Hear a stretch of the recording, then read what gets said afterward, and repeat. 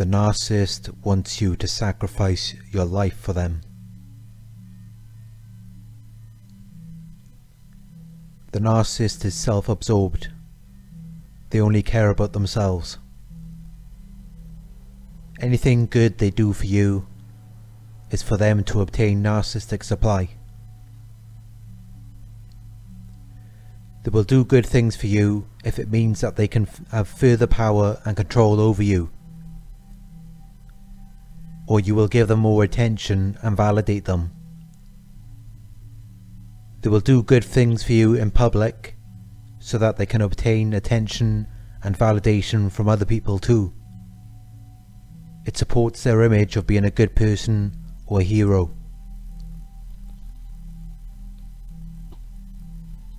But the sad truth is, the narcissist is self-absorbed.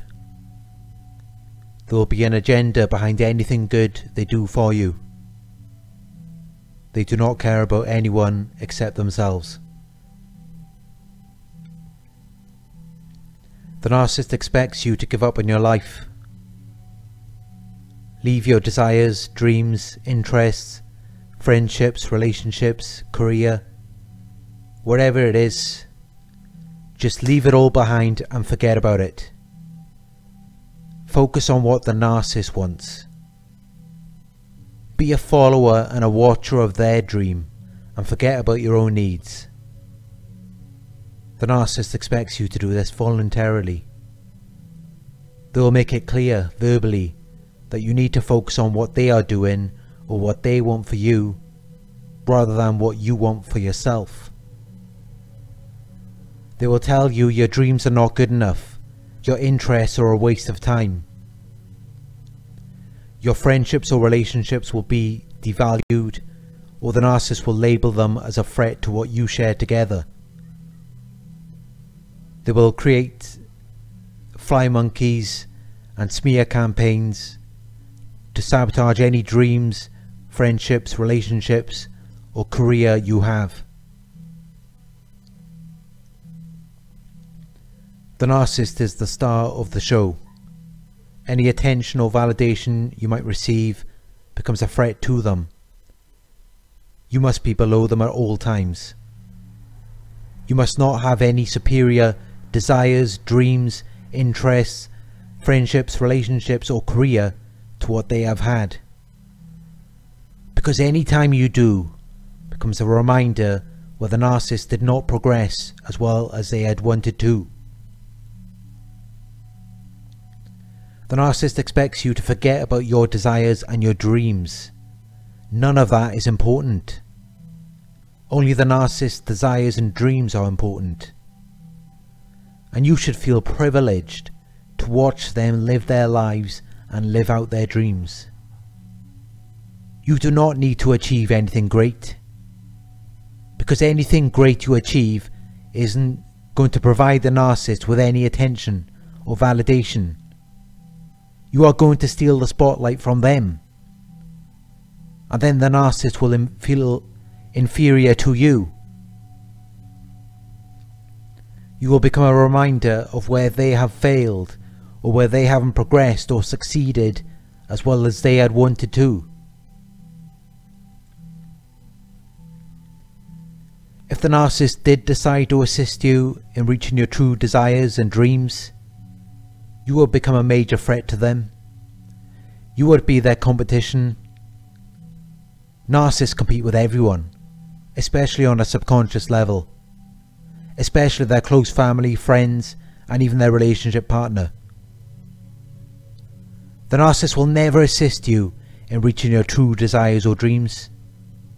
If they did that, they would then lose their power and control over you.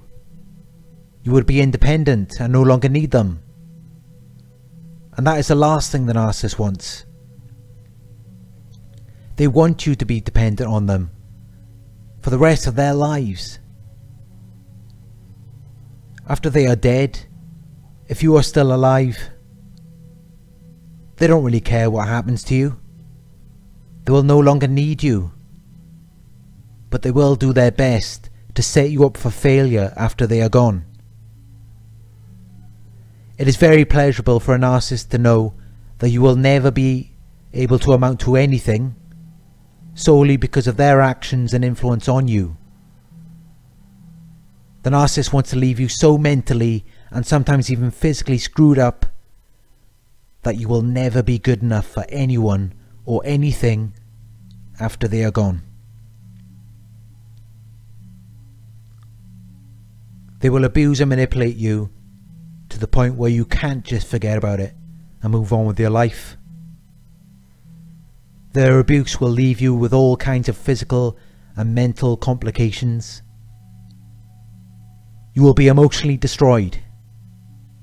And that's exactly what they want. So you can't simply move on and find a relationship partner.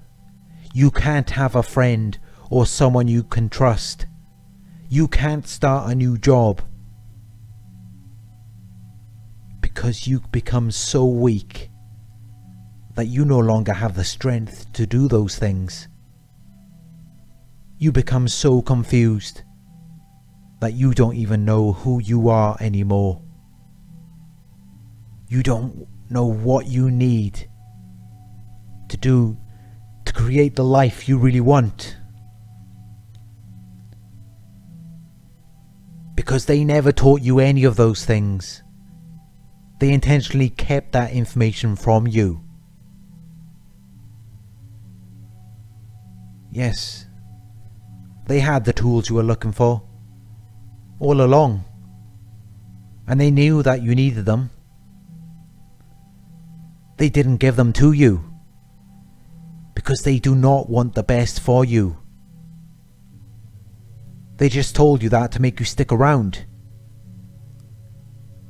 Because they know all too well that if you realise they do not want the best for you and move on, then maybe you actually could create the life you really want.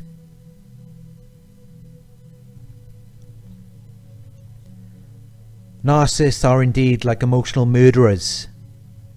They, mur they murder our true selves and then we have to try to get back to who we were. We have to remember what our true identities were.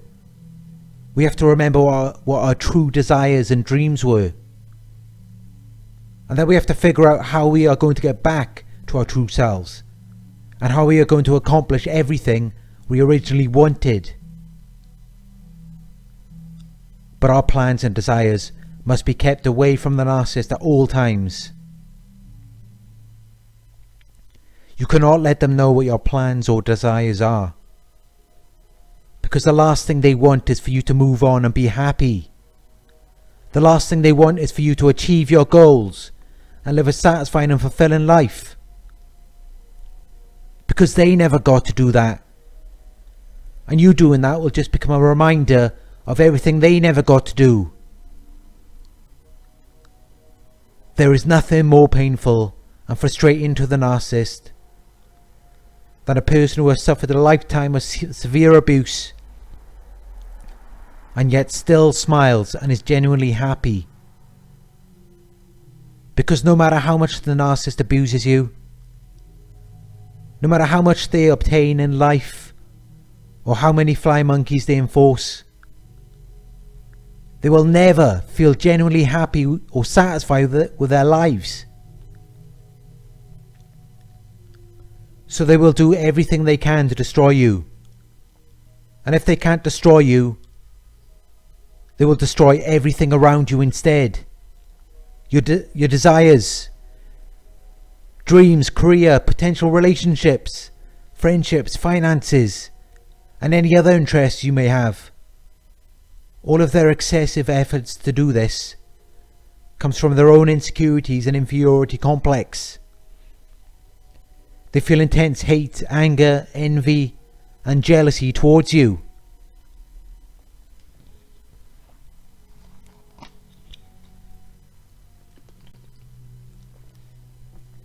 Now I would, I would like to go specifically into narcissistic parents who want you to sacrifice your life for them.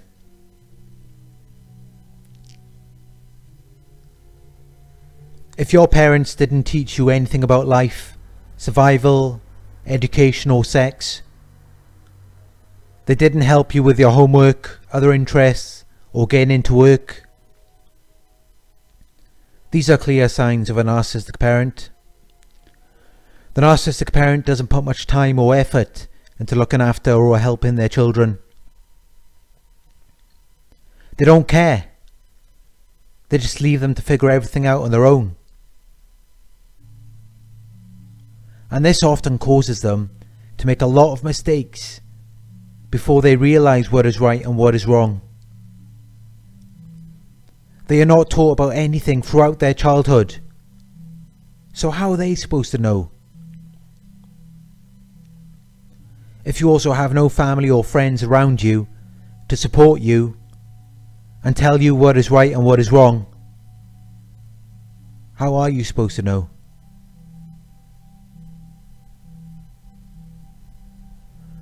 So they go through life on their own, not paying attention in school, not doing their homework. They grow up not knowing anything in life. By the time they start to figure things out and mature emotionally, they will be in their late teens or early 20s. They will have made many mistakes by this time, which they are now having to learn from. Many of them end up in prison or having children at a very young age. Some end up with no job or even homeless. And everyone looks at them as though there is something wrong with them or they are bad people when they were never taught how to create a life of their own. They were never taught anything.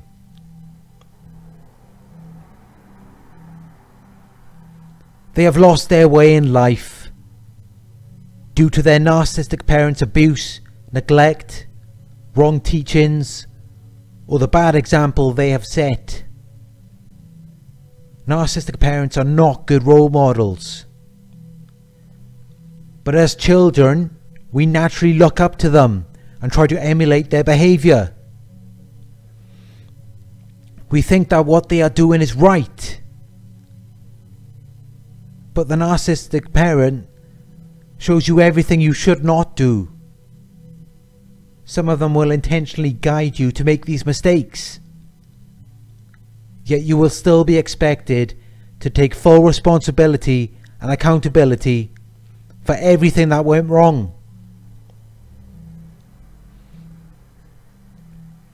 Although everything that went wrong, or whatever you have done, is due to the narcissistic parent's teachings, abuse or neglect.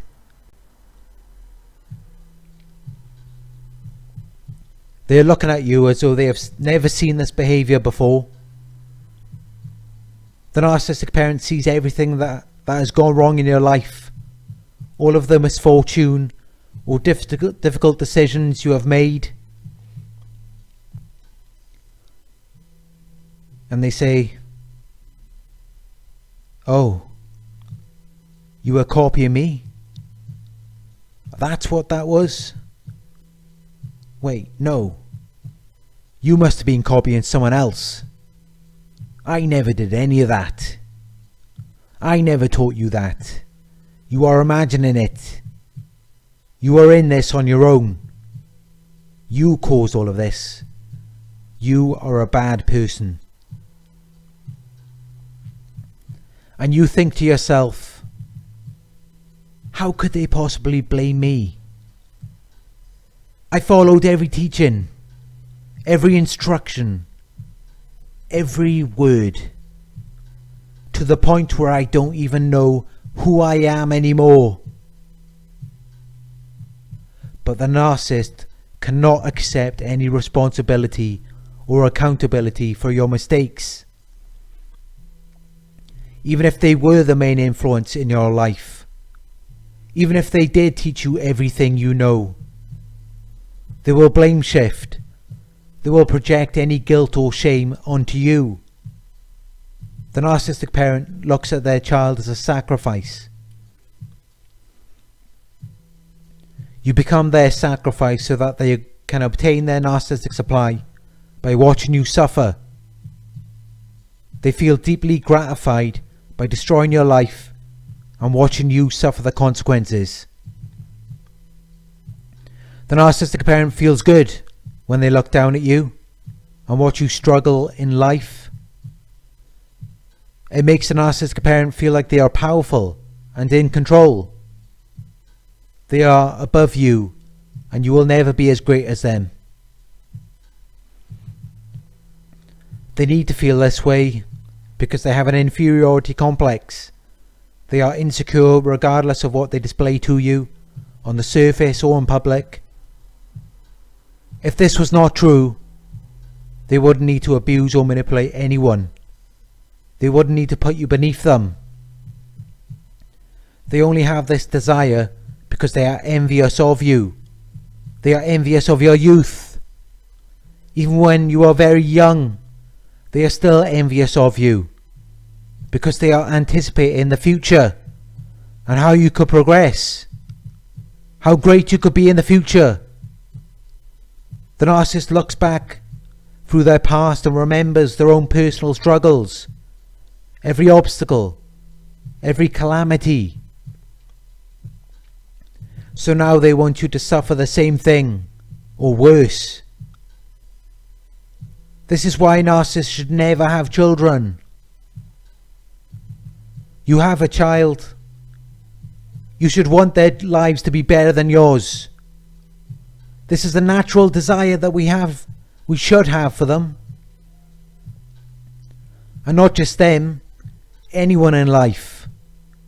You should always wish the best for them. If you are wanted to see them down and beneath you, that really says a lot about you as a person. The narcissist is all good with everyone else other than the victim. They will be around people equal to them or greater and act all humble inside believing that they are superior to that person. If a person is too superior for the narcissist to handle, they will not want to be around them. The narcissist will only be around certain people for a short amount of time if they believe that they are equal or superior to them because this is a reminder to them that they are not as great as they think they are. They like to stay close to their, their victim, whether it's a child or someone else, someone who is easy to abuse and manipulate, someone who is easy to take advantage of, so that they can bring them down and then feel better about themselves. Once the narcissist has put you beneath them, they feel more, more superior. But the reason why they do this is because they are weak themselves. If you are strong and secure, you have no reason to put anyone beneath you if you already believe that you are at the top. They want you to be stuck with them and their abuse until their lives are over. They cannot live without the gratification attention, validation, and approval. Illusion of power and control, which is a narcissistic supply, and that comes from you. They do not care if you get hurt in the process. They would prefer that you do not die, because if you die, then so does their narcissistic supply. But if you get killed in the process, then that's how it's going to have to be narcissistic supply to a narcissist has more value than any human being. They will lie compulsively, they will emotionally abuse you, they will do whatever they can to hurt you and sabotage any progress that you might otherwise make. They want you to be so hurt that you can never get back up. It makes them feel so powerful to toy with your life. How can they do this? How can they be so evil? Their motive comes from the fact that you are a reminder of everything they are not, everything they wish they could be. Your youth plays a big part in it. They wish they could be young, young again and have another go at life. But they can't. So after all of this abuse and manipulation they inflicted on you over the years, it reaches a point where they want to destroy this reminder. They don't want to be presented with the truth. And they don't want you to share the truth with anyone else. They want everyone to think that you are the problem. You are the bad person. The best way to avoid all of this is if you never open your eyes again. This is the ideal ending for them. That way they have no questions to answer to anyone. The most painful thing for the narcissist is to see their victim getting back up after they did everything they could to destroy them. And then to see them progress, find someone real and genuine, love and care for them, someone who will give them everything the narcissist did not and was never capable of. Although they always future faked and made you believe that something great was always around the corner. That is the, the narcissist's worst nightmare. The narcissistic parent is in competition with their children. In the narcissistic parent's mind, it is an accomplishment to be better than your child. A normal parent will desire for their child to be better than them in every way. If every parent in history always desired to be better than, than their child, where would we be today? We would be going in, in a downward spiral forever until we are all extinct. This is the reason why evolution has given us desire to want our children to be better than we are.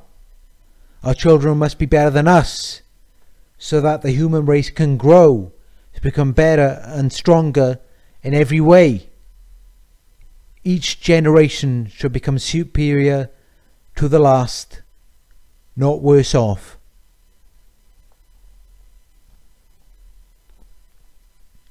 Surround yourself with good, positive people.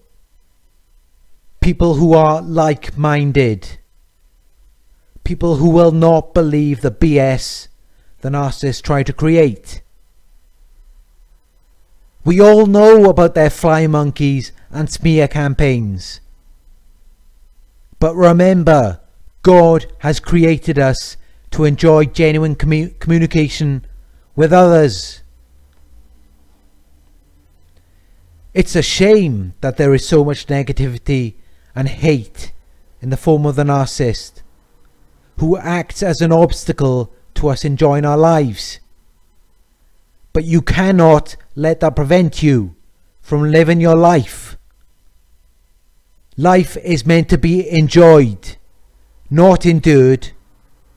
So avoid anyone who makes you feel as though you must endure your life just to please them. These are not good people and most likely narcissists. I hope that you have enjoyed this video and I will talk to you in another one very soon.